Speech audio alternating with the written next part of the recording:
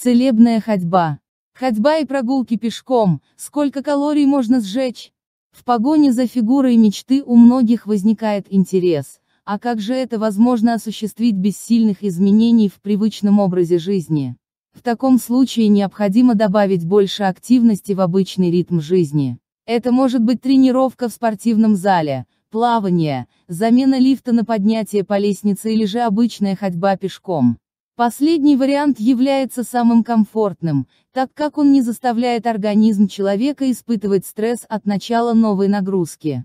Ходьба позволит ему адаптироваться для дальнейших тренировок или же просто поспособствует укреплению мышц. Как известно, когда мышцы человека находятся в тонусе, организму требуется больше калорий для обычного поддержания жизнедеятельности.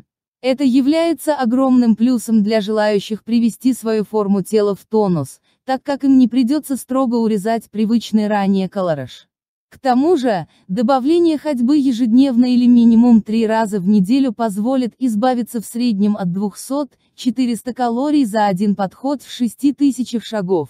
Почему ходьба – эффективный способ похудения? Ходьба является естественным видом активности для организма человека. Ему не нужно привыкать к такому виду деятельности, поскольку он каждый день совершает подобное. Однако для похудения привычной ходьбы да, от работы не будет достаточно. Поэтому можно утверждать, что от ходьбы пешком можно похудеть. Ходьба подойдет людям практически любой группы здоровья. Прогулки не имеют отрицательного воздействия на сердце и вены ног. Поэтому умеренные тренировочные прогулки принесут исключительно пользу, укрепят сосуды, мышцы и помогут снизить вес. Потери нежелательного веса можно добиться лишь при выполнении некоторых дополнительных условий. Сколько килокалорий сжигается при ходьбе в час? Затраты энергии организма зависят от темпов ходьбы, от времени, которое ей уделяется. 10.000 шагов – это примерно 7-8 километров. При среднем темпе в 4-6 км в час организму необходимо около 200-350 калорий.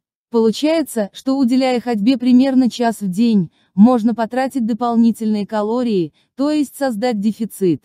А это будет способствовать умеренной и здоровой потере веса. Таблица сжигания калорий в зависимости от количества шагов и километража. Расход калорий, которые затрачиваются при ходьбе, зависит от нескольких показателей.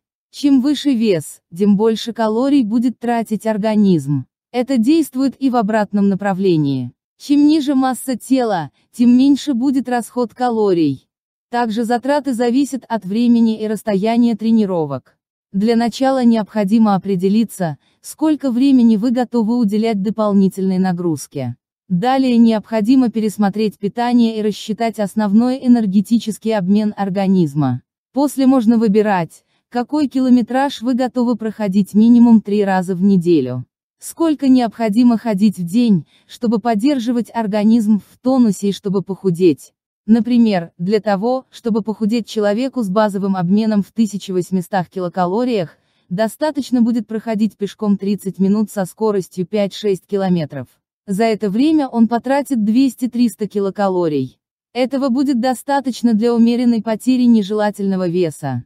За сколько можно пройти 2 километра пешком? Средняя скорость человека в ходьбе – 5 километров. 2 километра можно пройти за 20-30 минут при среднем темпе.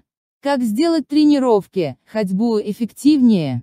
Физическая активность составляет лишь 20-30% успеха в борьбе за подтянутую фигуру. Для более быстрых и видимых результатов необходимо пересмотреть рацион питания. Как правило, вес начинает снижаться при дефиците калорий. Но это вовсе не означает, что желающим потерять вес нужно жестко себя ограничивать в употреблении конкретных видов продуктов. Добиться дефицита калорий можно с помощью добавления большей физической активности. То есть чем больше тренировок, тем больше калорий требуется организму для поддержания его существования. Как мотивировать себя проходить больше? Организм и мозг человека требуют некоторое время, чтобы привыкнуть к новому виду нагрузок. Далее представлены некоторые советы, которые могут придать больше стимула, чтобы наконец начать действовать. Добавить немного больше усилий и заметить огромный результат.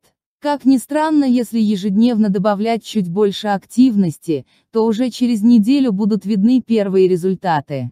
Мышцы начнут обретать форму, организм будет наполнен энергией. Разве это не стоит того?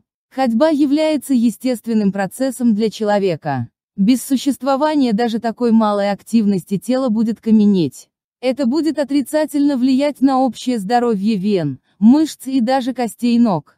Поэтому 30-минутные прогулки при среднем темпе уберегут ноги от этого. Напоминайте себе, для чего вам нужна эта активность. Достаточно будет ежедневно вспоминать о главной цели, ради которой вы начали заниматься ходьбой. Начните вести блокнот, в котором будете записывать пройденные километры. Это поможет видеть прогресс, а также мотивировать заниматься упорнее. Распечатайте чек, лист. В нем должны быть отмечены желаемые потери веса и ежедневный километраж. Пункты необходимо расписать так, чтобы с каждым разом расстояние ходьбы повышалось. Желание отметить галочку «Сделано» также может стать дополнительным источником мотивации.